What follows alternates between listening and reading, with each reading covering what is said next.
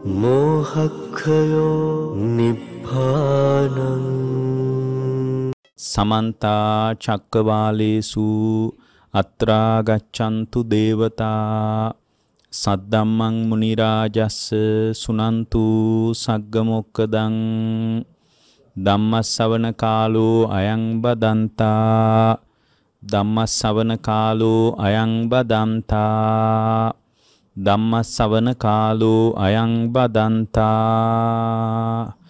නමෝ තස්ස භගවතු අරහතෝ සම්මා සම්බුද්දස්ස. නමෝ තස්ස භගවතු අරහතෝ සම්මා සම්බුද්දස්ස. නමෝ තස්ස භගවතු අරහතෝ සම්මා සම්බුද්දස්ස.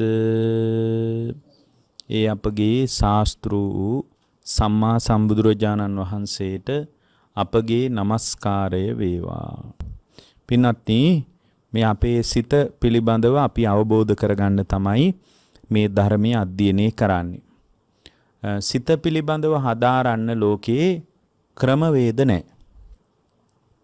සිත පිළිබඳව හදාරන්න ලෝකයේ විධික්‍රම නැහැ. ඒක ඇත්තටම මේ ගැඹුරු ආධ්‍යාත්මික ප්‍රවේශයක් තුල තමයි ලියන්න වෙන්නේ. නැත්නම් ඒක තේරුම් ගන්න බෑ. එතකොට ඒ බඳු ගැඹුරු කියවීම මේ ලෝකේ වැඩිය නැහැ. ඒ වගේ ගම්බීර කතාන්දර මේ ලෝකේ කවුරුත් වැඩි කතා කරන්නෙත් නැහැ. ඕගොල්ලෝ උනත් ඒකට ලොකු කැමැත්තකුත් නැහැ. දැන් ওই ගැඹුරු බුද්ධ දේශනා අහන්න ලංකාවේ බෞද්ධයෝ ගොඩාක් කැමති නැහැ. අර ටිකක් ප්‍රඥාව මෝරපු කෙනෙකුට උනන්දුවක් තියෙනවා. මේක හොඳයි මේක අහන්න ඕන මේක ජීවිතයට ගලප ගන්න ඕන මේක පිළිපදින්න ඕන වගේ අදහසක් තියෙනවා. නමුත් ඒක බහුතරයක් දෙනෙකුට නෑ. මොකද එච්චරටම කෙලෙස් වලින් යට වෙලා අපි ඉන්නේ.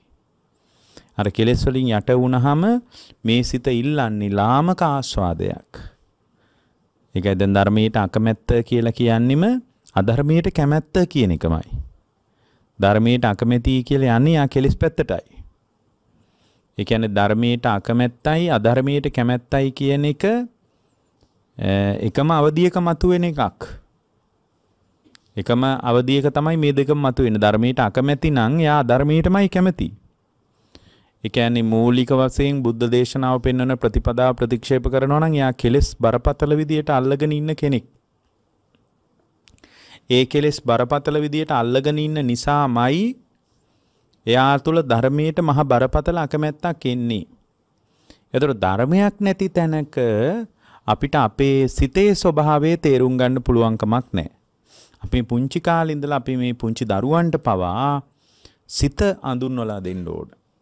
එතකොට එයාට මුලින් ඕක නොතේරුණත් ටික ටික පුංචි කාලේ ඉඳලා ওই දහම් පාසල් වල හරි කමක් නැහැ. සිත ගැන කියලා දෙන්න පටන් ගත්තොත් ටිකෙන් ටික ටිකෙන් ටික එයා එයාව එයාගේ සිත අඳුන ගන්න පටන් ගන්නවා. සිත අඳුනගන්නේ නැතුව ලෝකේම අඳුනගත්තත් එයා සැබෑ ජයග්‍රහයකෙක් නෙමෙයි. විවිධ දැනුම් පරාස පිළිබඳව අවධිකමක් තියෙන්න පුළුවන්. විවිධ දැනුම් පරාස පිළිබඳ නුවණක් තියෙන්න පුළුවන්. එයා Tamanගේ සිත අඳුනගෙන නැත්තම් ඒ මොන දැනුමක් තිබ්බත් වැඩක් නැහැ පින්වත්නි. සිත අඳුනාගත්ත නැති තැනක එයා පුදුම තරම් අනාතයි.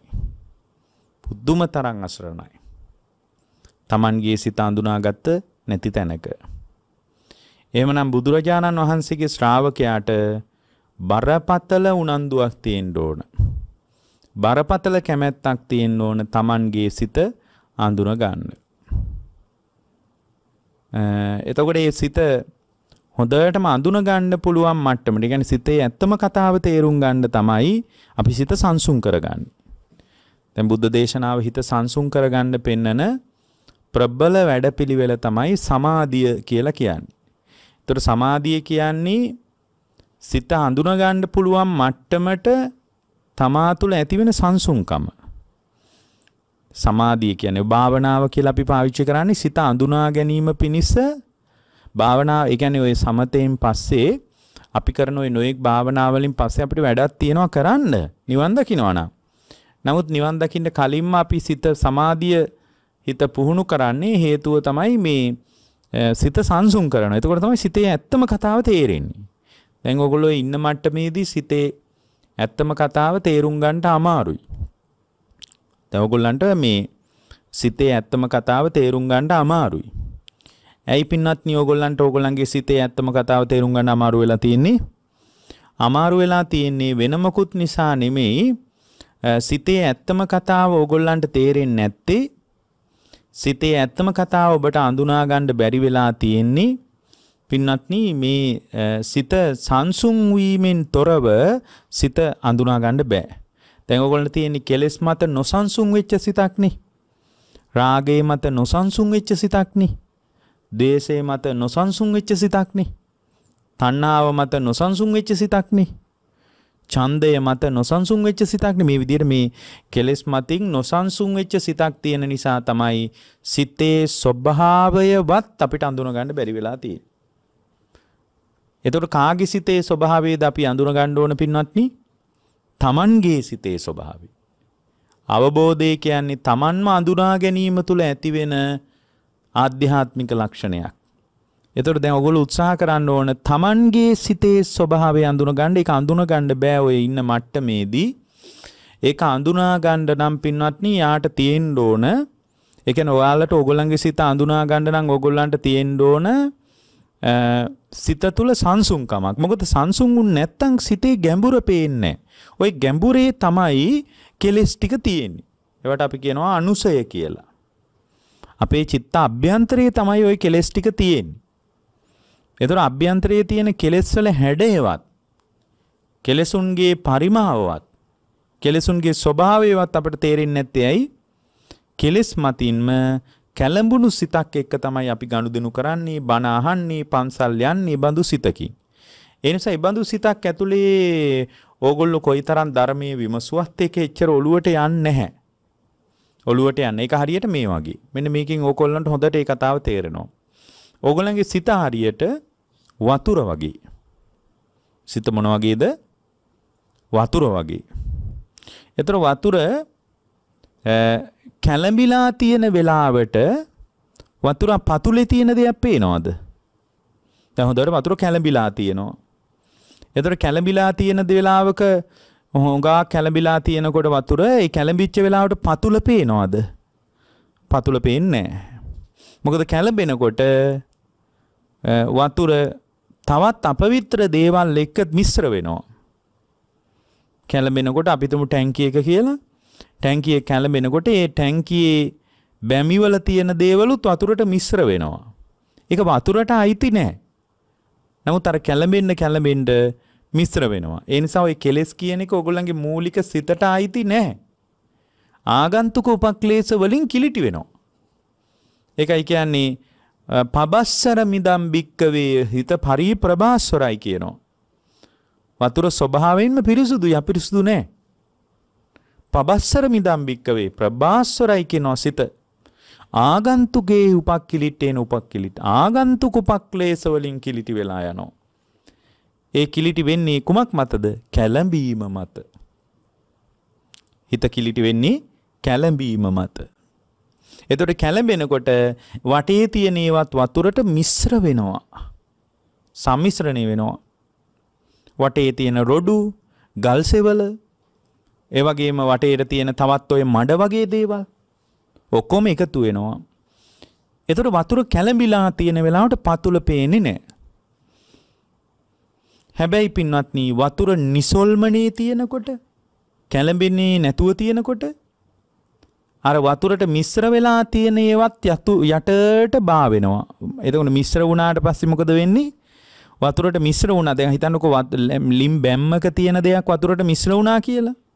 වතුර තැම්පත් වෙනකොට ඒක ලිම් බැම්මටම දයිති. නෑ පතුලට අයිති. අම්මි කියන එක තේරෙනවද?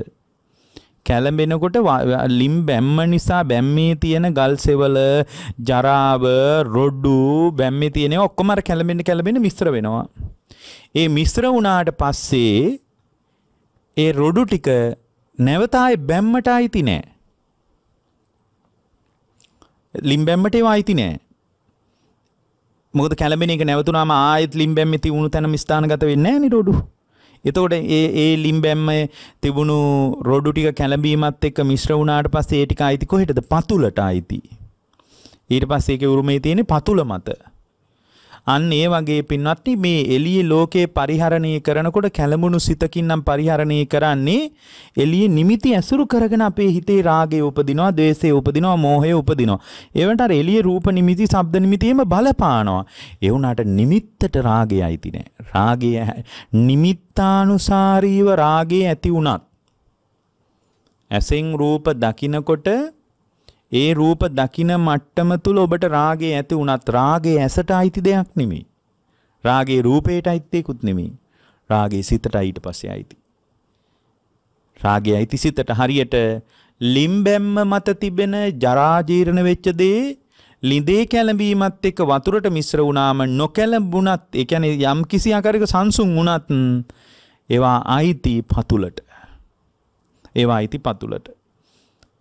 එතකොට දැන් තව අතිරේක දෙයක් තියෙනවා නොකැළඹී තියෙනකොට හොඳට පතුල පේනවා. කැළඹෙන්නේ නැතුව තියෙන වෙලාවට තමයි පින්වත්නි හොඳට පතුල පේන්නේ. ඒ නිසා ඕගොල්ලන්ගේ සිත හරියට වතුර වගේ. කැළඹිලා තියෙන වෙලාවට Tamanගේ ආගන්තුකව ගොඩනැගිච්ච කෙලෙස් ගතිය පදනම් කරගෙන පැවතින අනුසය මට්ටම චිත්ත අභ්‍යන්තරය තුල තියෙන කෙලෙසුන්ගේ ස්වરૂපය ඔගොල්ලෝ කාටවත් හොයන්න බෑ. ඒ නිසා නොකැලඹුණු මට්ටමක විතරයි හිත අඳුන ගන්න පුළුවන්. අපේ සිත පින්වත්නි හැම වෙලාවකම කැළඹිලායි තියෙන්නේ. මේ අපේ සිත මේ අසුරුතවත් පෘථග්ජනයාගේ සිත අන්ධබාල පෘථග්ජනයාගේ සිත මගඵල අවබෝධය වෙනුවෙන් වැඩපිළිවෙලක් නැති මිනිස්සෙගේ සිත හැම වෙලාවකම කැළඹිලා. හැම වෙලාවකම එයාගේ සිත කැළඹිලායි තියෙන්නේ. එතකොට මේ කැළඹිලා තියෙන නිසා ඕගොල්ලෝ මේ ධර්මයේ ඇහුවත් අවස්ථාවට විතරයි මේ ධර්මයේ මතක. ධර්මයේ Tamanගේ චිත්ත අභ්‍යන්තරයට සම්මිශ්‍රණය වෙන්නේ එනම් මතක තියාගන්න කැළඹුණු සිතකට ධර්මයේ ඔරොත්තු දෙන්නේ සිත කැළඹිලා නම් ධර්මයේ ගැඹුර ස්පර්ශ කරන්න බෑ. ඒකයි ලංකාවේ බෞද්ධයන්ට වර්තමානයේ බුද්ධ ශාසනයේ ගැඹුර ස්පර්ශ කරගන්නට බැරි වෙලා තියෙන්නේ. වර්තමානයේ ලංකාවේ බෞද්ධයන්ට තමන්ගේ චිත්තාභ්‍යන්තරයේ ගැඹුර ස්පර්ශ කරගන්න බැරි වෙලා තියන්නේ ඇයි? භාග්‍යතුන් වහන්සේ වදාළ ධර්මයේ හරහා තමන්ගේ සිතේ ස්වභාවය කියවා ගන්න බැරි වෙලා තියන්නේ ඇයි? ස්වභාවයෙන්ම අපේ සිත කැළඹිලා තියෙනවා. ඒ නිසා අපේ සිත ධර්මයේ හරහා අපිට අඳුන ගන්න විදික්‍රමයක් නැහැ. ඒ නිසා අපේ සිත හොඳටම සංසුන් කරගන්න ඒ නිසා උපක්‍රමයක් අපි පාවිච්චි කරන්න ඕනේ තමයි භාවනාව. චිත්ත සමාධිය කියලා අපි කතා කරනවා. සමාධියෙන් තමයි ප්‍රඥාව එන්නේ. සමාධිය නැත්තම් ප්‍රඥාව කියලා එකක් නෑ. ඒකට ධර්මයේ කියනවා මෙහෙම. සමාධි පරිභාවිතෝ පඤ්ඤා මහත්ඵලෝ හෝති මහානිසංස සමාධිය මතින් වඩන ප්‍රඥාවක් තියනවා නම් මහණෙනි ඒක තමයි මහත්ඵල මහානිසංස වෙන්නේ පඤ්ඤා පරිභාවිතෝ චිත්තම් ප්‍රඥාවෙන් වඩන සිත තමයි. ප්‍රඥාවෙන් වඩන සිත තමයි පඤ්ඤා පරිභාවිතෝ චිත්තං ප්‍රඥාවෙන් වඩන සිත තමයි සම්මදේව ආසවේහි විමුක්චති ආශ්‍රවයන්ගෙන් මිදෙන්නේ. සම්මදේව ආසවේහි විමුක්චති ආශ්‍රවයන්ගෙන් මිදෙන්නේ. ඒ බඳු සිතක් තමයි ආශ්‍රවයන්ගෙන් මිදෙන්නේ. එහෙනම් ආශ්‍රවයන්ගෙන් මිදීම කැළඹුණු සිතකට අයිති දෙයක් නේමි දැන් අපේ සිත හරියට කැළඹිලා. අපේ සිත රාග දේශ මෝහ පදනම් කරගෙන නිරන්තරයෙන් කැළඹිලා එකට වයස තත්ත්වයේ තරාතිරම ගිහි පැවිදි ඒකක්වත් අදාළ ඒවා නෙමෙයි. හැම වෙලාවකම පින්වත්නි අපේ සිත කැළඹිලා. හැම වෙලාවකම කැළඹිලා. ඒ නිසා අපිට අපේ අභ්‍යන්තර සිත තුළ අවබෝධය කරා යන්න බෑ. කැළඹුණු සිතක් නිවා ගන්නවා නම් එයාට ප්‍රබලම සාධකේ මොකක්ද එතකොට? සමාධිය. හිත පුහුණු කරන කම. දැන් මෙතනට එකතු වෙච්ච මේ ශාලාවට එකතු වෙච්ච 100ට 5ක්වත් භාවනාවක් එහෙම කරන්නේ නැහැ. ඒතකොට එහෙනම් බුදුදහමේ ප්‍රධාන කතාවට අපිට එකතු වෙන්න කවදාවත් බෑ නිකන් බණ අහලා අපිට යන්න පුළුවන්. බණ අහලා ඔයගොල්ලන්ට එළියට බහලා යන්න පුළුවන්. බණ අහන එක තුලිනුත් පිනක් රැස් වෙනවා. ඒ තුලත් මහ විශාල කුසලතාවයක් තමා තුළ ගොඩ නැගෙනවා. හැබැයි පින්නත්නි ඔයගොල්ලෝ හොඳට මතක තියාගන්න බණ අහන එකෙන් විතරක් ඕගොල්ලන්ට ඒ අවබෝධය කරා යන්න පුළුවන් කමක් නැහැ. ඇයි? කැළඹුණු සිතකට ධර්මය ඔරොත්තු දෙන්නේ නැහනේ. අහන්න පුළුවන්. අහන වෙලාවට අවස්ථාවට නිවෙන්නත් පුළුවන්. අනේ හොඳයි මේ බණ කියලා නිකන් හිතෙනවා හිටි ගම. අනේ මේ බණ මට නම් හොඳයි කියලා හිතෙනවා. නිකන් හිතෙනවා එච්චරයි. එතනින් එහාට මොකුත් නෑ පින්වත්නි. එහෙනම් ඕගොල්ලන්ට දැන් එහෙනම් හරියට මනස කියා මේ සිත කියන්නේ වතුර වගේ කැළඹිලා තියෙන වෙලාවට පතුල පේන්නේ පතුල පේන්නේ නැත්නම් කවදාවත් අවබෝධය කරා යන්න බෑ. ඇයි? පතුලේ තමයි කෙලස් ටික තැම්පත් වෙලා තියෙන්නේ. උඩින් ওই කතාව හොයන්න බෑ. කෙලසුන්ගේ ස්වභාවය පතුලේ තැම්පත් වෙලා තියෙන්නේ. එතකොට පතුලේ තියෙන කෙලෙස් වලට අපි කියනවා අනුසය කියලා. ඒවා කාලාන්තරයක් සිත ඇතුලේ තැම්පත් වෙච්ච ඒවා. දවසක් දෙකක් තුනක් නෙමෙයි පින්නත්නි. කාලාන්තරයක් Tamanගේ සිත තුල තිබුණු දේවල්. සෑහෙන කාලයක් සිත තුල තිබිලා තියෙනවා. එහෙනම් මතක තියාගන්න සෑහෙන කාලයක් සිත තුල තිබුණු දේවල් තමයි අනුසය කියලා කියන්නේ. බඳු අනුසයක් තියෙන සිතකට ධර්මය අහලා එක්තරා සංසුන්කමක් හදාගත්තට අනුසේ උදුරලා දාන්නේ නැතුව නිවනක් ගැන කතා කරන්න බෑ. අනුසේ උදුරලා දාන්න ඕන. උදුරලා දාන්න නම් පතුල පේන්න ඕනනේ හරියට. ඉතින් අපිට වෙලා තියෙන්නේ මේ වෙලාවේ අපිට පතුල පේන්නේ නැති නිසා අපි උඩින් අර කැළඹුණු ස්වභාවය අපිට ටිකක් තේරෙනවා. කැළඹුණු බවක් තේරෙනවා. පිරිසුදු නැති බවක් තේරෙනවා.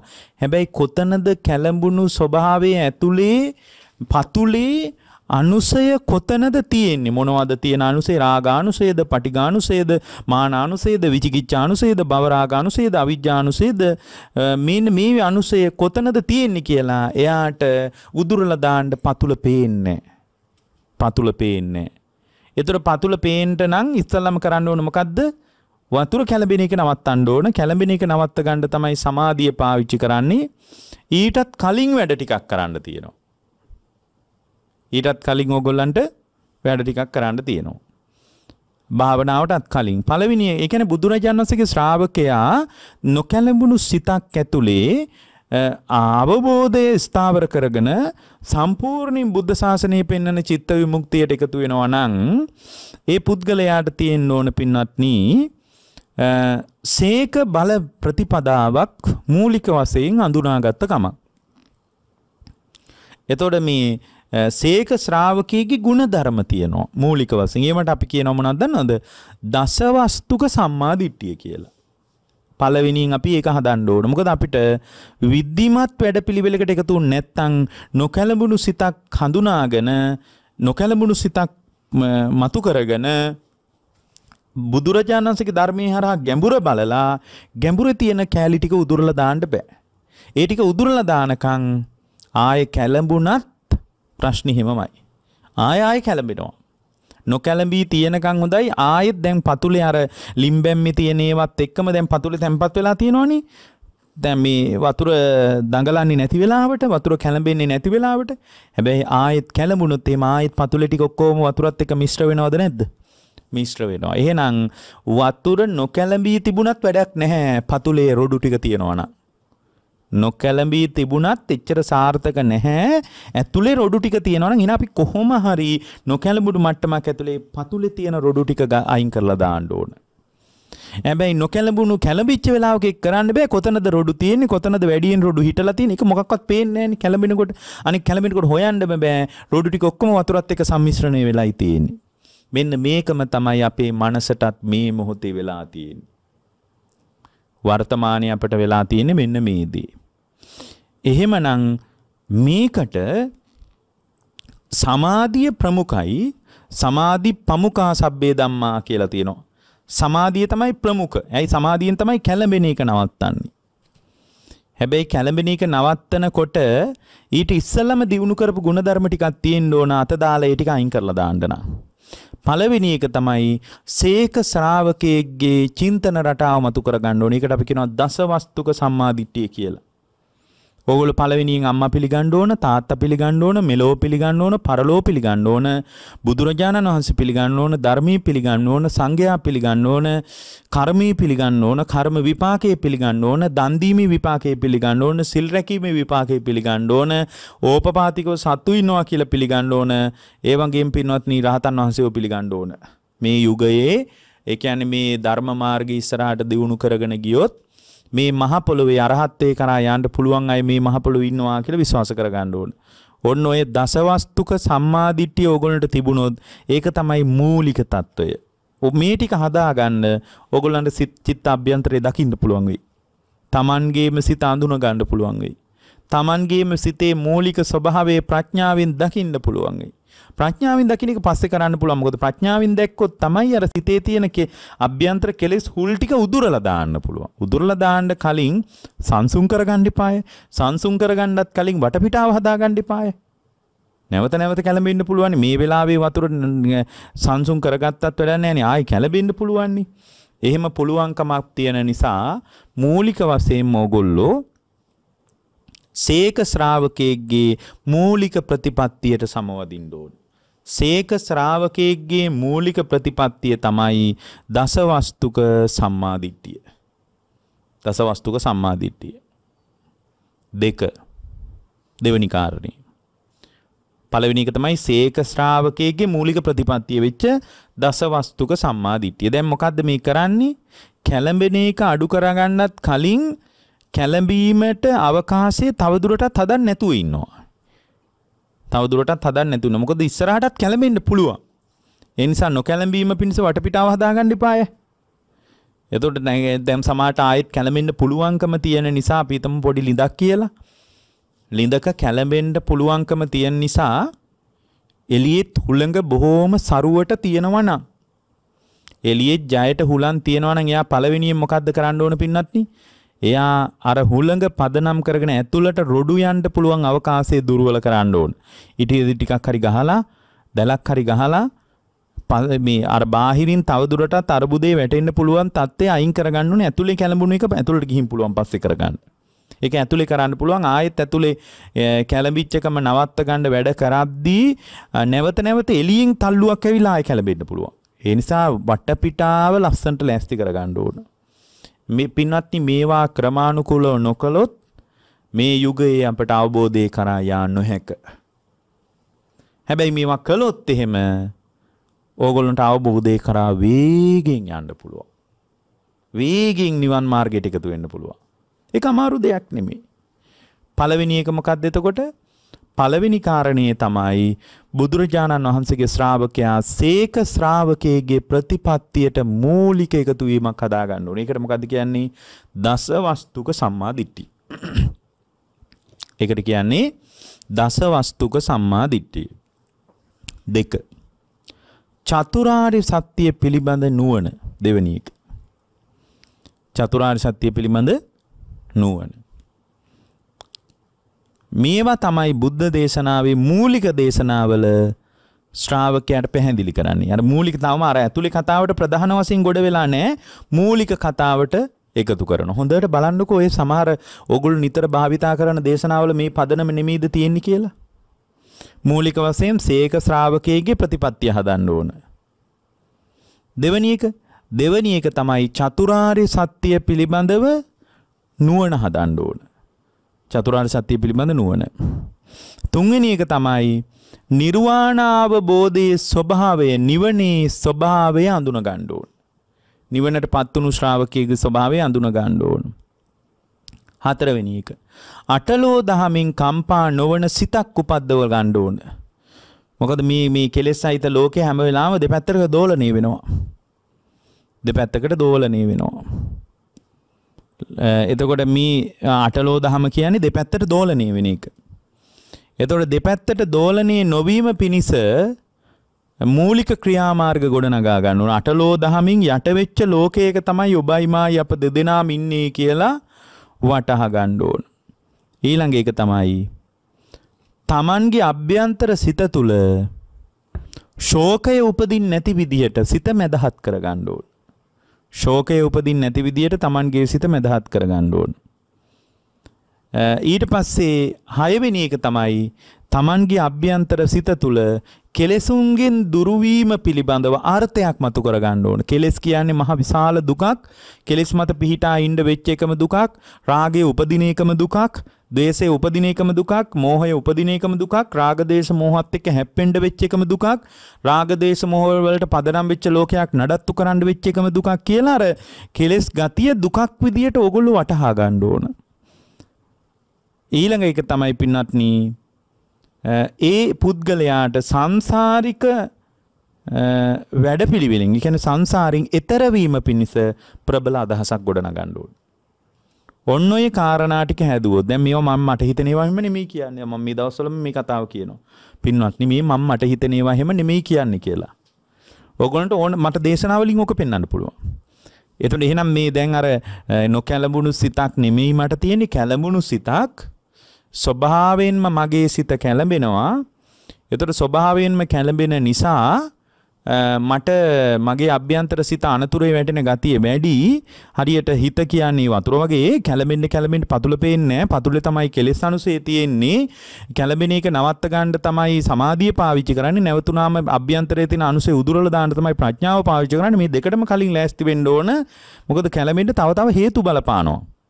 මම විසින් කැළඹුවාම නෙමෙයි. එළියේ හුලං එහෙම වැඩි වුණාමත් කැළඹෙනවා.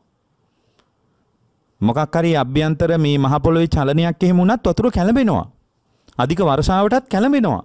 ඔය වගේ තව තව හේතු බලපාන නිසා කලින්ම ලෑස්ති පිට ඉන්නවා.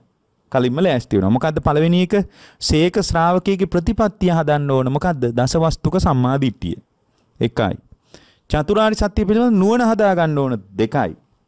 තුන්වෙනි එක නිර්වාණ අවබෝධය කිරීම පිණිස ඇයි මම නිවන් දකින්න ඕනේ? මට මොකද්ද වෙලා තියෙන්නේ? කියලා අඳුනා ගන්න එක පිළිබඳ දැනුම තියෙන්න ඕන. ඊළඟට අටලෝ දහමෙන් දෙපැත්තට දෝලනී නොවන ගතිය තියෙන්න ඕන. අටලෝ දහම කියන්නේ දෙපැත්තට හෙල්ලෙන එක.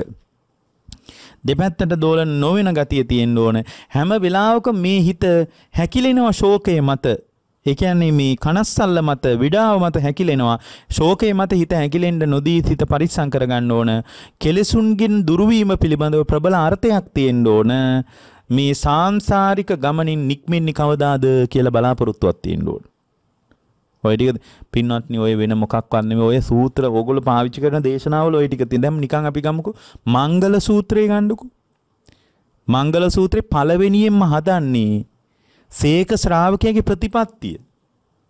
බලන්නකෝ අසේවනාච බාලානම් පණ්ඩිතානං චේද මාතායතා මමා අම්මා තාත්තට සලකන්න ඕන. මාතාපිතු උපට්ඨානම් පුත්තදාරස්ස සංඝහෝ. මේ දසවස්තුක සම්මාදිට්ඨිය හදන්නේ. අත්ති මාතා, අත්ති පිතා, අත්ති අයං ලෝකේ, අත්ති පරෝ ලෝකේ. මෙලෝ පිළිගන්න ඕන පරලෝක පිළිගන්න දැන් බලන්නකො මාතා මාතා පිතු උපට්ඨානම් පුත්තදාරස්ස සංඝහෝ අනාකුලාච කම්මන්තා ඒතම් මංගල මුත්තමන් ඔය විදිහට කියන ගින් කියනවනේ. මියගිය ඥාතීන්ට සංග්‍රහ කරන්න ඕන ඔය වගේයි පරලොවත් පිළිගන්න ඕන. ඔය කතාව තමයි කියාගෙන යන්නේ. අර සේක ශ්‍රාවකයේ ප්‍රතිපත්තිය හදන්නේ. ඊට පස්සේ ඕගොල්ලන්ට මතක ඇති පින්නත්නි ආර්ය සත්‍යාන දස්සනං. ඔන්න ඒකෙම තියෙනවා අන්තිමට චතුරාර්ය සත්‍ය පිළිබඳ නුවණ තියෙන්න ඕන කියනවා. ආර්ය සත්‍යාන දස්සන නිබ්බාන සච්චි කිරියාච නිවන ගැන අර්ථයක් තියෙන්න ඕන කියනවා. දැන් මේ කියපු ටිකමයි ඒකේ තියෙන්නේ. නිබ්බාන සච්චි කිරියාච ඒතම් මංගල මුත්තමන් ඊට පස්සේ කියන පුට්ටස්ස ලෝක ධම්මේහි අටලෝ දහමින් කම්පා නොවන ගතිය තියෙන්න ඕන. අර මේ කියපු ටිකම ඕකේ තියෙනවා. පුට්ටස්ස ලෝක ධම්මේ චිත්තං යස්ස න කම්පති අශෝක මං කිව්වේ දැන් අර ශෝක කරන්න බෑ කියලා.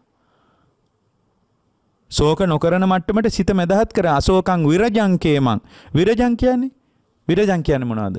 කෙලෙස් වලට කෙලෙසුන්ගෙන් දුරවීම පිළිබඳ අර්ථයක් තියෙන්න ඕන කියලා මං ඉස්සෙල්ලා කිව්වා.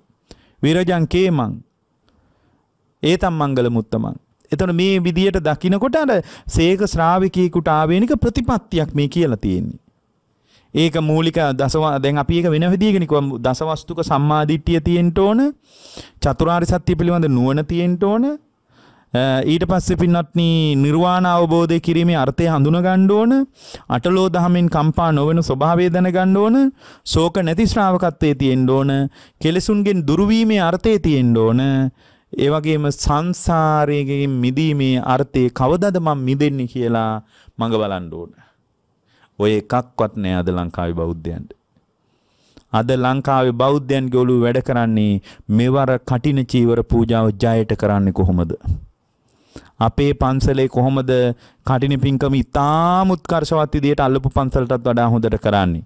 ගිය සැරේ පෙරහැර නිකන් කරා නම් මේ සැරේ අලියෙක්වත් ගේන්නේ කොහොමද? අලියෙක්වත් ගෙනාවා නම් මේ සැරේ ඇතෙක්වත් ගෙනල්ලා පෙරහැරක් කරන්නේ කොහොමද?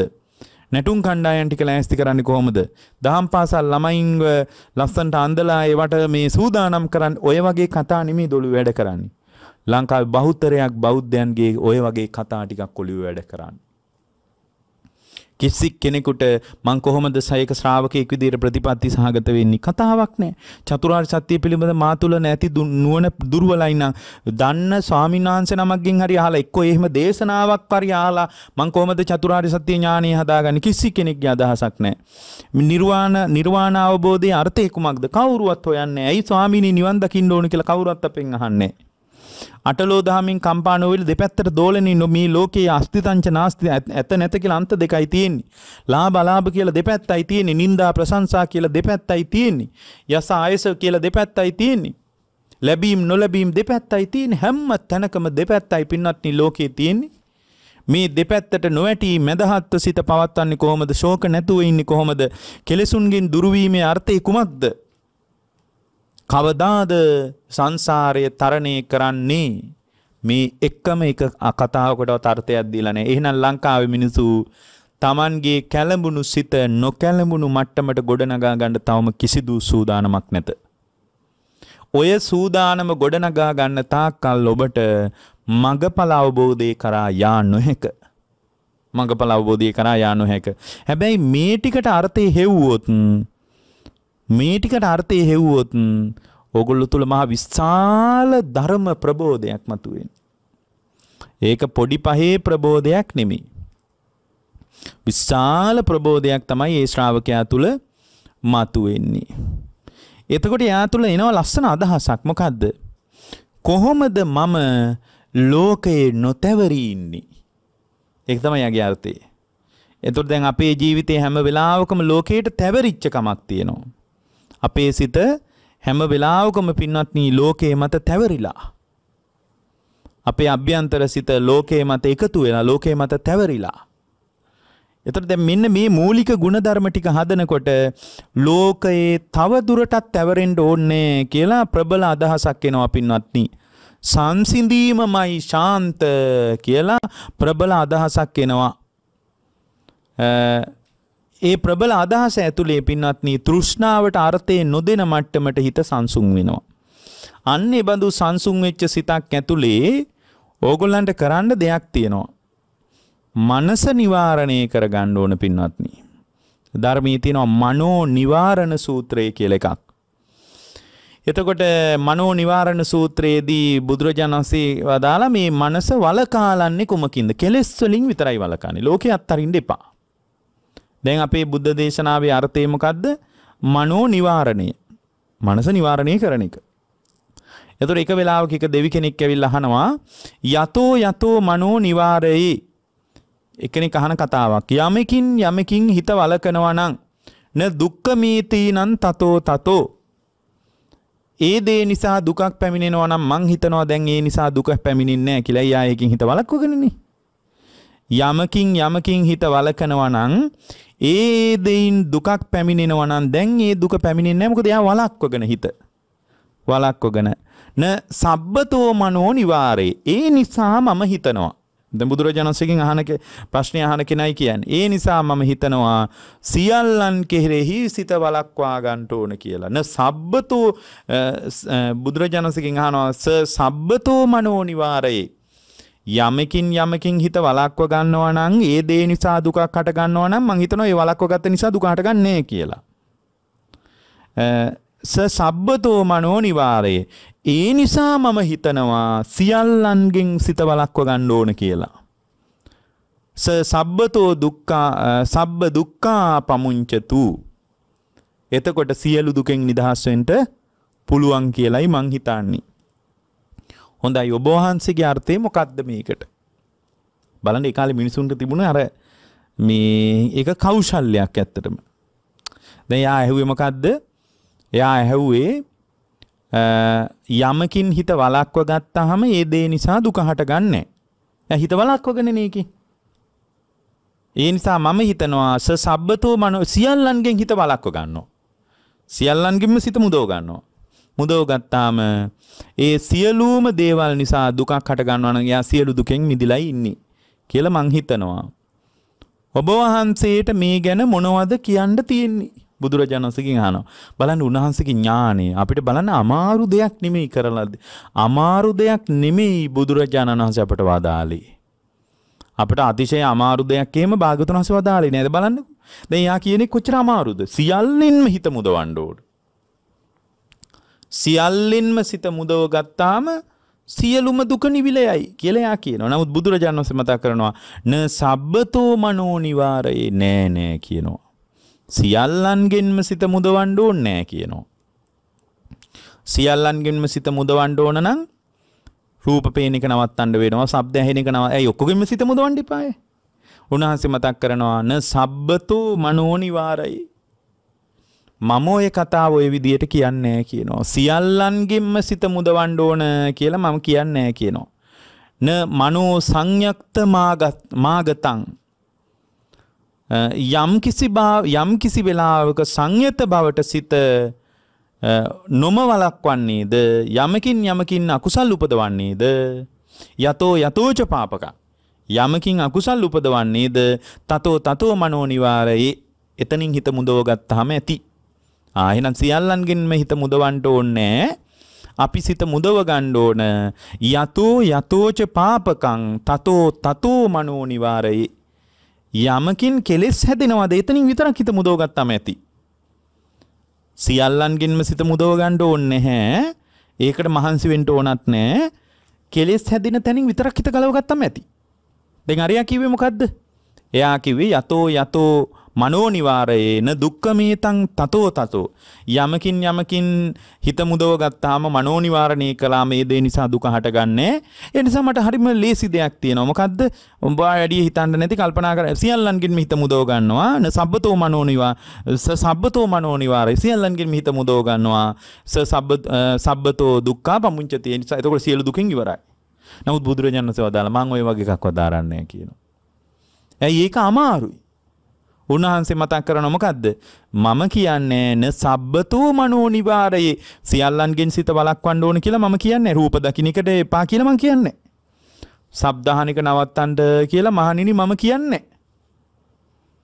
රූප ශබ්ද ගන්ධ රස පොට්ටබ්බ ධම්ම කියන ඒවට අභියෝග කරන්න ඒවත් එක හැප්පෙන්න ඒවට අභියෝග කරන්න ඒවා වෙනස් කරන්න මම මොකක්ද කියන්නේ කියනවා. මොකද්ද කියන්නේ? යතෝ යතෝච පාපකං. යමකින් යමකින් අකුසල් උපදවන්නේද කෙලස් ගතිය හදන්නේද එතන කෙලස් ගතිය හදන්න නැතුව හිටියාම ඇති කියනවා. කෙලස් ගතිය හදන්න නැතුව හිටියාම ඇති කියනවා. එහෙනම් අපි අභියෝග කළ යුත්තේ ඇසටද කෙලස් වලටද? කෙලස් වලට. ලංකාවේ මිනිස්සු අභියෝග කරන්නේ ඇහැට. අපි අභියෝග කළ යුත්තේ කනටද කෙලස් වලටද? කෙලස් වලට. අපි අභියෝග කළ යුත්තේ පංචස්කන්ධයටද උපාදානයටද? මොකටද අභියෝග කරන්න ඕන? උපාදානයට. පංචස්කන්ධයට නෙවෙයි. පංචස්කන්ධය කොහොමත් හට ගන්නවා. දැන් මේ වෙලාවේ පංචස්කන්ධයක් අපි තුල ක්‍රියාත්මකයි. සංඥා පහළ වෙනවා, චේතනා පහළ වෙනවා, වේදනාව පහළ වෙනවා හිතේ. ස්කන්ධ පහළ වෙන්නේ හිත ඇතුලේ ඒ සිත විශ්ලේෂණය කරලා බුදුරජාණන් වහන්සේ අපට පෙන්වා වදාළ විදියේ. නොඑක් ආකාරයේ කෙලෙස් සිත තුළ උපදිනවා. එතකොට දැන් පංචස්කන්ධය කියන එක කෙලෙස් නෙමෙයි. පංචස්කන්ධය කියන්නේ කෙලෙසයක් නෙමෙයි. පංචස්කන්ධය කෙරෙහි බැඳෙනකම තමයි කෙලෙස් ටික. බැඳෙනකමින් විතරයි අපි හිත ගලවන්න ඕන. පංචස්කන්ධය ඔහි පහළ වුණාවේ. රූප පෙනුණාවේ. රූපේ තුල රාගේ නෑනේ. ශබ්දේ තුල රාගේ තියනවද? නෑනේ. ශබ්දේ තුල රාගේ නෑ. අර ඇතුලේ කැළඹෙන්න කැළඹෙන්න තමයි එළියේ තියෙන දේ අර ඉස්සලා කිව්වේ. වතුර කැළඹෙන්න කැළඹෙන්න වතුර මේ වැව් බැම්මී තියෙන ඒවත් වතුරට මිශ්‍ර වෙනවා. මිශ්‍ර වුණාම වැව් බැම්මට අයිති නෑ. ඒක හරි. එතකොට අයිති වතුර පතුලටයි අයිති ඒ ටික. ඒ වගේ එළියේ රූපාරම්මන, සද්දාරම්මන, ගන්ධාරම්මන, රසාරම්මන, පොට්ටබ්බාරම්මන අරමුණු අපිට මුණ ගැහෙනවා. ඒ අරමුණු පදනම් කරගෙන හිත කැළඹෙනවා. රාගයෙන් කැළඹෙනවා, ද්වේෂේ රාගේ හදාගන්න. එතකොට රාගේ හදාගත්තට රූපාරම්මණය පදනම් කරගෙන ඒ රූපේට රාගය අයිති නෑ. රාගයයිති හිතට. දැන් සමහර විට ඕගොල්ලෝ යම් දෙයක් දැක්කාම දේශේ උපදින ඕගොල්ලන්ගේ හිතේ. එතකොට දේශේ අයිති එළි රූපේටවත් ශබ්දයටවත් නෙමෙයි. දේශේ අයිති මොකටද? සිතට. දේ කැළඹීම ඒ රූපය රූපාරම්මණය පදනම් කරගෙන ඔබේ අභ්‍යන්තර සිත කැළඹීම නිසා උද්ගත වෙච්ච සංස්කාරයක් ඒ ද්වේෂය කියන්නේ. දේශය කියන එක ශබ්දේ මත පවතින දෙයක් නෙමෙයි. නමුත් අපි එළියේ කොයිතරම් ශබ්ද නිසා පින්වත්නි අපේ ඇතුළ අවුලව ගන්නවද? එතකොට ඇතුළ අවුලව ගත්තාම ශබ්දේ එකට වග කියන්න ඕනේ ශබ්දේ වගකීම ගන්නෙත් නෑ. ශබ්දේ වගකීම ගන්නෙත් නෑ. ඒ ටික අයිති වෙන්නේ සිතට. ඒ නිසා පින්වත්නි අපි නිවාරණය කළ යුත්තේ සියල්ලන්ගෙන්ම නෙමෙයි සිත. කෙලෙස් වලින් විතරයි සිත. අපි නිවාරණය කරගන්න අපිට හරි ලේසි දෙයක් තියෙන්නේ පින්වත්නි කරන්න. හරිම ලේසි දෙයක් තියෙන්නේ. හැබැයි මේ කතාව පුහුණු කරගෙන යනවා නම් ඊටා ඉහළ ප්‍රඥාවකින් විමර්ශනය කරන හැකියාව තියෙන්න ඕන. ප්‍රඥාවෙන් විමසන හැකියාවක් තියෙන්න ඕන. ප්‍රඥාවෙන් විමසන හැකියාව නැත්තම් එයාට සියල්ලන්ගෙන් සිත මුදවා ගන්නට වෑයමක් ඇති වෙන්න පුළුවන්. නමුත් ඒක බුද්ධ ශාසන එකක් නෙමෙයි. ප්‍රඥාව නැති කෙනෙකුට වැරදිවට අහු වෙන්නේ. දැන් අර මනුස්සයා ප්‍රඥාව නැතිකමටමනේ අර කතාව කියන්නේ. සියල්ලන්ගෙන් සිත මුදව ගන්න ඕන කියලා මට හිතෙනවා. ඒ නිසා මං සියල්ලන්ගෙන් මුදව ගන්නයි උත්සාහ කරන්නේ. එතකොට සියල්ල නිසා දුක හට ගන්න නෑනේ. ත්‍රිබුදුරජාණන් වහන්සේ වදාලා එහෙම එකක් කරන්න එපා. නේ සබ්බතෝ මනෝ නිවාරයි. සියල්ලන්ගෙන්ම සිත මුදව ගන්න ඕන කියලා මම කියන්නේ යතෝ යතෝච පාපකන් තතෝ තතෝ මනෝ නිවාරේ. යමකින් යමකින් අකුසල් උපදිනවාද? ඒ අකුසල් උපදින මට්ටමින් විතරක් අයින් වුණාම ඇති කිව්වා. මොකද අකුසලයේ කියන එක කෙලෙසේ කියන එක එළිය රූපේටවත් Tamanගේ ස්කන්ධවලටවත් අයිති නෑ. තමා තුළ ස්කන්ධ පහළ වෙන ඒවට අයිති නෑ වේ අයිති නෑ. දැන් උදාහරණයක් විදියට පින්වත්නි විමුක්ත ස්වභාවය කියලා කියන්නේ අනුපය මට්ටම. විමුක්ත ස්වභාවය කියලා කියන අනුපය මට්ටම. අනුපය මට්ටම කියලා කියන්නේ ප්‍රපංච ගොඩ නගන්න නැති මට්ටම. මොකද්ද ප්‍රපංච ගොඩ නගන්න නැති මට්ටම කියලා කියන්නේ? තණ්හාව හදන්න නැති මට්ටම. මානයේ ගොඩනගන්න නැති මට්ටම දෘෂ්ටිය උපදවන්න නැති මට්ටම තණ්හා මාන දිට්ටි වශයෙන් මමත්වය ඇසුරු නොකරන මට්ටම තමයි ප්‍රපංච ගොඩනගන්න නැති මට්ටම. එතකොට ප්‍රපංච ගොඩනගන්න නැති මට්ටමට අපි කියනවා අනුපය මට්ටම කියලා. ඒකට විරුද්ධ වචනේ මොකද්ද? උපය. උපය. උපය කියන්නේ ප්‍රපංචකරණය. තණ්හාමාන දිට්ටි වශයෙන් තමා තුළ ඇති වෙන අදහස. තවත් තේරෙන්න කියනවා නම් මම කියලා ගන්න අර්ථය. මගේ කියලා හිතෙන ඒවා. මම මගේ මගේ වසඟේ පවත්වන්න පුළුවන් කියලා ඕගොල්ලන්ගේ හිතේ තියෙන අදහස. අන්න ඒක තමයි කෙලෙසේ. මම කියලාවත් මගේ කියලාවත් මගේ වසඟේ පවත්වන්න පුළුවන් කියලාවත් අදහසක් ඕගොල්ලෝ නඩත්තු කරන්නේ නැත්තම් ඒ නඩත්තු කරන්නේ නැති මට්ටමට අපි කියනවා මොකද්ද අනුපය මට්ටම කියලා. ඒකට කියන්නේ අනුපයම. ඒ අනුපය මට්ටම නම් තියෙන්නේ අනුපය මට්ටම තුල කර්ම විඥානයේ පිලිසරණ වෙන්නේ. අනුපය මට්ටම තුල කෙලෙස්වත් සංස්කාරවත් ගොඩ නැගින්නේ. කෙලෙස්වත් සංස්කාර ඒ අනුපය මට්ටම ඇතුලේ කෙලෙස්වත් සංස්කාරවත් ගොඩ නැගින්නේ. එතකොට කෙලෙස් සංස්කාර කෙලෙස්වත් කෙලෙස් පදනම් කරගෙන සංස්කාර ගොඩනෙගුණාන් පස් තමයි ඒවා මතින් තමයි විඤ්ඥාණයට නැවත භවයක් හදාගන්න පුළුවන් වෙන්නේ. නැවතත් විඤ්ඥානී පිහිටන්න පුළුවන් වෙන්නේ. ඒනම් ඔගොල්ලු හිත මුදව ගණ්ඩ ඕන පින්වත්නී ඒ ප්‍රපංච සහගත ගතියකට යන්නේ නැතුව ලෝකේ පරිහරණය කරන්න. ඒ ප්‍රපංච සහගත ගතියක් නඩත්තු කරන්නේ නැතුව ලෝකේ පරිහරණය කරන්න පුළුවන් නම් ඒ විදියට ලෝකේ පරිහරණය කරන තැනක නැවත සිත මුදා ගන්න ඕන කියලා දෙයක් නැහැ. එහෙනම් ඕගොල්ලෝ ලෝකය පාවිච්චි කරන්න. ලෝකය පරිහරණය කරන්න. ලෝකය නඩත්තු කරන්න. හැබැයි නඩත්තු කළා කියලා නඩත්තු කරන ලෝකේ ඇසුරු කරගෙන මමායනය පවත්තන් දෙපා. මමායනී කියල පවත් මමායනය මොකද මමායනය නිසා තමයි කෙලෙස් සුද්ගත වෙන්නේ. රාගේ උපදින්නේ. දේශය උපදින්නේ මෝහය උපදින්නේ. මම කියන ස්වභාවය මැදින්තියාගෙන බලන් නැත්තං කවද්දාවත් රාගේ උපදින්නේ. මම මගේ කියන ප්‍රපංච සහගත ගතිය නැත්තං කවද්දාවත් දේශය උපදින්නේ කවුරු හරි බැන්න කියලා අපිට දේශය උපදින්නේ මට බැන්න කිවොත් දේශය උපදිනවා. මම් බැනුම් අහන්නේ මොකටද කියලා ද්වේෂය උපදිනවා. නිකම් මේ පාරේ යනකොට බැන බැන හිටියා කියලා අපි මේ කාට හරි බනිනවා කියලා අපිට කේන්ති යනවද නේ? හැබැයි මට නම් බනින්නේ ඔන්න මට කේන්ති යනවා. මම මොකටද බැනුම් අහන්නේ කියලා. එහෙනම් පින්වත්නි මම කියන ගතිය ඇතුලේ ලෝකය කියවන්න ගියහම විතරයි අභ්‍යන්තරය කැළඹෙන්නේ. අභ්‍යන්තරය කැළඹෙන්නේ. ඒ නිසා බුද්ධ ශාසනය ඒකට අර්ථය පෙන්වනවා මොකද්ද? මහණෙනි ලෝකේ ආත්ම කියලා ගන්න මොකක්වත් නැහැ. ලෝකේ අනාත්මයි. හේතුඵල ධමයෙන් හැදිච්ච ලෝකයක් තියෙන්නේ. පටිච්ච සමුප්පන්න ලෝකයක් තියෙන්නේ. හේතුන් නිසා හටගත්ත ලෝකයක්. හේතු වෙනස් වෙනකොට වෙනස් වෙලා යන ලෝකයක් තියෙන්නේ. ඒක ඇතුලේ මම මගේ කියලා ගන්න මොකුත්ම නැහැ පින්වත් මහණෙනි කියලා අනාත්මයි අනාත්මයි කියලා අනාත්මයක් බුද්ධ ශාසනයේ මතු කරලා පෙන්වන්නේ ඇයි? අනාත්මයක් බුද්ධ ශාසනයේ මතු කරලා පෙන්වන්නේ අනාත්මය මම කියලා ගන්න මොකුත්ම නෑ කියලා හේතුඵල ධමයෙන් බලනවා නම් මම කියලා ගතියක් පේන්නේ නැත්තම් මම කියලා ගතියකින් ලෝකේ නඩත්තු කරන්න ලෑස්ති නැත්තම් පිටනත්නි ලෝකේ මොන විදියට ප්‍රතිචාරය මුණ ගැහුණත් එයාට ඒක අතහැරෙනවා එයා ඒක අල්ලගන්නේ අන්න ඒ ගතියෙන් හිත මුදව ගත්තාම ප්‍රමාණවත්. ඕගොල්ලෝ කන් දෙක වහගන්න ඕනේ නැහැ. සබ්ද ඇහෙන්නේ නැති තැන්වලට ගිහින් භාවනා කරන්න ඕනේ සබ්ද ඇහෙන්නෙම නැති ඝන කැලෑවලට ගිහින් ආධ්‍යාත්මික නිවීමක් පිණිස ඕගොල්ලෝ ප්‍රතිපත්ති සහගත වෙන්න ඕනේ එහෙම තැන් ගොඩාක් ඉතින් හිතට සහනයක් තමයි කැලෑවකට ගිහින් නමුත් ඕවා කරන්න බෑනේ අපිට. ඕගොල්ලෝ පින්වත්නි ඔය ඉන්න මට්ටමේ වැඩේ කරන්න බෑනේ. දැන් ඔය ඉන්න මට්ටම තුල ඕගොල්ලන්ට ඒ දේ කරන්න බෑ. ඒ නිසා පින්වත්නි ඕගොල්ලන්ට බුදුරජාණන් වහන්සේගේ ධර්මයෙන් බලනකොට ඒ ධර්මයෙන් බලන ශ්‍රාවකයාට හැම වෙලාවකම හේතුඵල දහමින් පේනවා නම් ඒ හේතුඵල දහමින් පේන එක ඇතුලේ පින්වත්නි අර කෙලෙස් ගතියෙන් යාගේ හිත මිදෙනවා.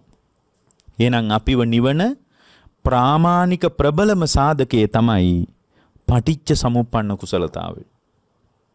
ඒ පටිච්ච සමුප්පන්න කුසලතාවයෙන් බලනකොට පින්වත්නි නිකම්ම හිත අර කෙලෙස් ගතියෙන් වැළකෙනවා. ඒක විතරයි අපි කරන්න ඕන. නිවන් දකින්න නම් ඕගොල්ලෝ කරන්න ඕන යතෝ යතෝච පාපකන් තතෝ තතෝ මනෝ නිවාරේ. යම් කිසි ආකාරයක කෙලෙස් ගතියෙන් හිත මුදවා ගන්න එක විතරයි කරන්න ඕන. සියල්ලන්ගෙන් මුදව ගන්න ඕනේ කරන්නත් බෑ. කරන්නත් බෑ. එතකොට දැන් බුදුරජාණන් වහන්සේ එතකොට බුදුරජාණන්සේගේ චින්තනයෙන් බලපු ගමන් නිවෙන්නේ කොහොමද? යම් කිසි දුකක් දැනෙනකොට මට තමයි දුක ඔයා තමයි දුක ගෙනාවේ. මෙන්න මේ දේ තමයි මම දුකට ඇදලා දැම්මේ කියලා දකිනවා වෙනුවට ඕගොල්ලන්ට පුළුවන් නම් දුකක් දැනෙන හැම වෙලාවකම මේවා ඉතා සරලයි.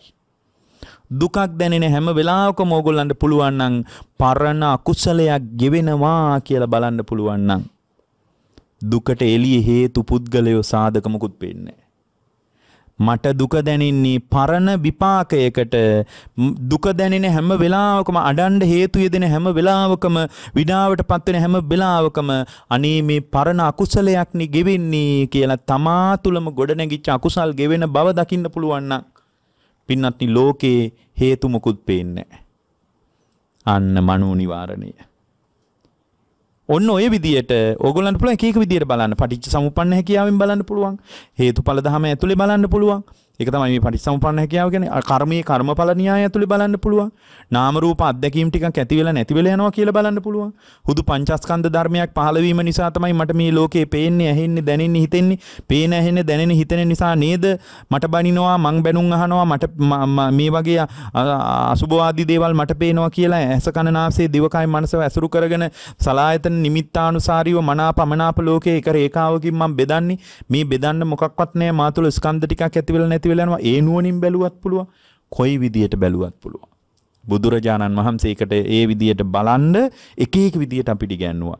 ඒ බල බුදුරජාණන් වහන්සේ වදාළ විදියට බලනකොට පින්වත්නි අර කෙලෙස් ගතිය හිත තුළ හිටින්නෙම නෑ.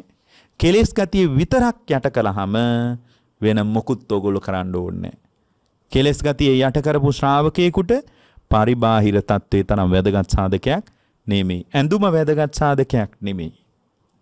ඒකයි ඒ කෙලෙස් ගතිය කඩලා දැම්මට පස්සේ බාහිය වගේ කෙනෙක් දරපතුරු ඇඳගෙන ඇවිල්ලා අරහත්වේ කරා ගියේ. හරි හමන් ඇඳුමක්වත් නැතුව කෙලෙස් ගතිය විතරක් කඩලා සම්පූර්ණයෙන්ම දරපතුරු වලින් ඇඳුමක් ඇඳගෙන ආපු බාහිය වගේ කෙනෙක් පිරිනුවම් පෑවේ එකයි. හේතුව මොකද අපිට අමාරු දෙයක් නෙමෙයි තියෙන්නේ. දැන් අර බුදුරජාණන් වහන්සේ ළඟට ඇවිල්ලා කියපු මිනිස්සයාගේ කතාව කොච්චර අමාරුද? එයා කිව්වේ සියල්ලන්ගෙන්ම හිත මුදව ගත්තාම සියලු දුකෙන් මිදෙනවා කියලායි මං කියන්නේ බුදුරජාණන්සේ වදාලා සියල්ලන්ගෙන්ම මිදෙන්න එපා කියනවා. මොකද සියල්ලන්ගෙන්ම මිදෙන්න බෑ දැන් ඔයගොල්ලෝ ওই බැඳිච්ච ලෝකයේ ඇතුලේ සියල්ලන්ගෙන්ම මිදෙන්න පුළුවන්ද අද? බෑනේ. හැබැයි අපිට පුළුවන් කෙලස් ගතිය නඩත්තු නොකර ඉන්න. කෙලස් ගතියට අර්ථය දෙන්නේ නැතුව ඉන්න. ඒ කෙලස් ගතිය නඩත්තු නොකර හිටියොත් නැවත පුනර්භවයේ පිණිස භවකර්ම සකස් වෙන එක ක්‍රමානුකූලව දුර්වල වෙලා දුර්වල වෙලා සම්පූර්ණයෙන් සදාතනික නිවීමක් පැත්තට ඒ ශ්‍රාවකයා එකතු වෙනවා. අන්නේ ශ්‍රාවකත්වයට එකතු වෙන්න අපි අපේ ඥානය ඇසුරු කරගෙන සංයමයකට එන්න ඕන. ඒ ඥානය ඇසුරු කරගෙන සංයමයකට එනවා නම් අපිට ක්‍රම කීපයකින් බලන්න වෙනවා. එකම විදියකට බැලුවත් හරි. ඒකයි මම මේ අන්තිමටම කිව්වේ මොකද්ද? හැම වෙලාවෙම දුකක් දැනෙනකොට පනේ පරණ කර්මයක් ගෙවෙනවා නේද කියලා බලන්න පුළුවන් වුණාට දුවනාම දුකට හේතු හොයන්න හිතෙන්නේ නැහැ. දුක ගෙනාපු කෙනෙක් පේන්නේ. හැබැයි සැප විඳින කොටත් ඕක බලන්න ඕන. හොඳ සැප පහසුවට කණ්ඩ ලැබෙනකොට සැප පහසුවට අඳින්න ලැබෙනකොට සැප පහසු ජීවිතයක් ගෙවනකොට මේ පරණ කරුමයක් නේද මේ ගෙවෙන්නේ කියලා බලන්න පුළුවන් වෙන්න ඕනේ. එතකොට ඒ සැපේ අනිත්‍ය වුණා කියලා පොළොවේ හැප්පි හැප්පි කෑ ගහන්න හිතෙන්නේ හිත හරීම මැදහත් පින්නත්. දෙපැත්තෙන්ම බලන්න ඕනේ. නිකන් දුකේදී විතරක් බලලා සැපේදී උඩ පනින්න ගියොත් එහෙම එතනත් ධර්මයක් නැහැ. මේ දෙපැත්තෙම බලන්න. මොකද සැපේදී අඬලා දුකේදී hina වෙන්න ගියොත් එහෙම පින්වත්නි එතනත් කෙලෙස් සහගත ගතියමයි නඩත්තු වෙන්නේ. ඒ නිසා ඕගොල්ලෝ දුකක් දැනෙන හැම වෙලාවකම පවක් ගෙවෙනවා කියලා හිතන්න. හැබැයි සැපක් දැනෙන හැම වෙලාවකමත් පරණ පිනක් ගෙවෙනවා කියලාත් බලන්න පුළුවන් වුණොත් තමයි කෙලෙස් ගතිය කැඩෙන්නේ. දෙපැත්තෙන්ම බලන්න ඕන. දෙපැත්තෙන්ම බලන්න. ඒ බලන හුරුව තිබ්බොත් අපිට පුළුවන් වේගෙන් අවබෝධය කරා යන්න. එබඳු අවබෝධාත්මක කුසලතාවයක් පිණිස මේ හෝරාවක ධර්මානුශාසනාව ඔබ හැම දෙනාටම උපකාර වේවා කියලා අපි දේශනාව